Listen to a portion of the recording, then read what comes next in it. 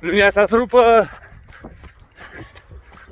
la mulți ani celor care servează numele de uh, ziua de nume, florile, să fiți sănătoși, iubiți, să vă bucurați de cei dragi. Paște fericit și celor care sărbătoresc Paștele Catolic. Petrecere frumoasă. Da, Doamne ajută!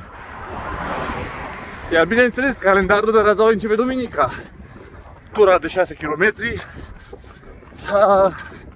Iar astăzi, astăzi vorbim despre presiune. Nu presiunea de la roți, ci presiunea pe care o resimțim. Fie că este ea financiară, fie că este socială, emoțională.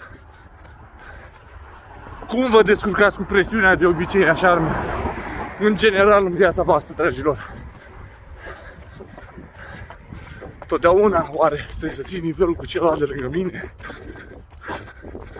Oare pentru că toată lumea merge tot direcție, trebuie să merg și eu?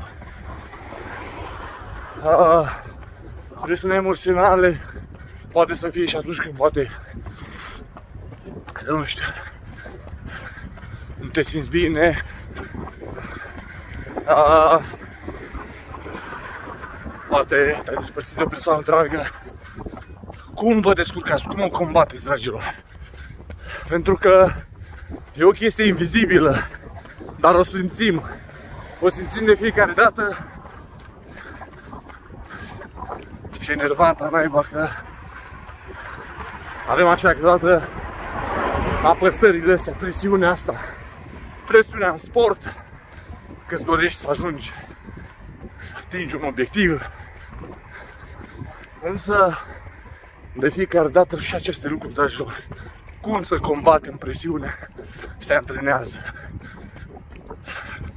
Fie prin sport, fie prin psiholog, fie cu ajutorul celor dragi, cerând ajutorul, încercând să căutați soluții, să nu vă dați bătuți așa ușor,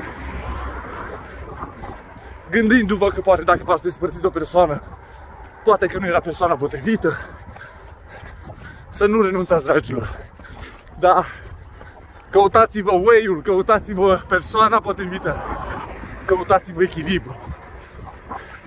Așa că presiunea îi dăm drumul, dragilor. Ha, încă o dată la mulți ani de flori. Vă pup pe toți.